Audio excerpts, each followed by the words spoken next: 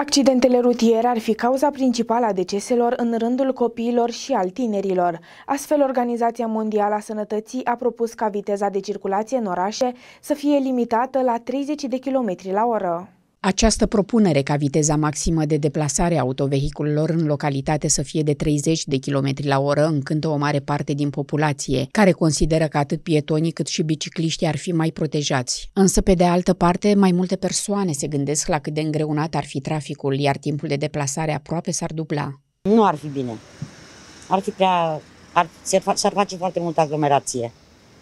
Deci vor merge foarte încet și eu zic că limita de 50 E perfect. Știți, cu... eu nu conduc și ar fi bine, că nu s-ar mai întâmpla atâtea accidente. Eu știu care sunt cu viteza, vă puteți da seama că dacă mergi și în oraș și în afară tot cu viteză. V-ați simți mai protejată ca pieton? Cred că da. Conform informațiilor distribuite de Organizația Mondială a Sănătății, o persoană moare într-un accident rutier odată la 24 de secunde, iar aproape o treime din acestea pot fi cauzate de viteza excesivă. E bună că nu face accidente. Dar cum credeți că ar fi traficul? Așa ar fi bine. E foarte bine. Credeți că ar fi mai protejați bicicliștii și pietonii? Da, și pietonii, și copiii mici. Eu sunt șofer. Și mai bine. Credeți că ar fi mai protejați și pietonii și bicicliștii? Da, și șoferi. Cu permis sau fără, fiecare dintre noi se gândește la siguranța celor din jurul nostru în trafic, dar mai ales la siguranța celor cu o vârstă fragedă. Pe de altă parte, pentru cei care serviciul constă în deplasarea la timp pentru onorarea anumitor comenzi, această măsură nu este potrivită.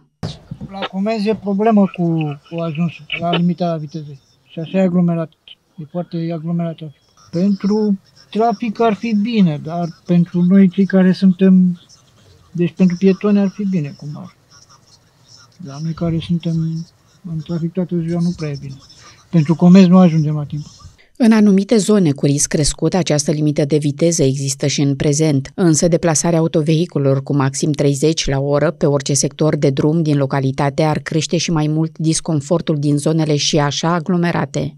Eu spun că este o măsură binevenită, cel puțin pentru o perioadă de timp, până mai disciplinăm nebunia de pe șoselele noastre.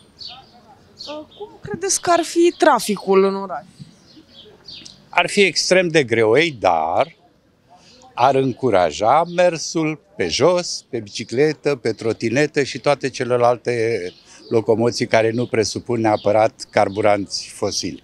Credeți că ar proteja pietonii și bicicliștii? Categoric, la 30 pe oră, toți ar fi mai protejați decât sunt acum. Astăzi și în fiecare zi, 3000 de copii sunt uciși sau răniți pe străzile din întreaga lume. Este o criză care este provocată de oameni și poate fi complet prevenită, a precizat Zoleca Mandela, ambasador global al inițiativei pentru sănătatea copilului.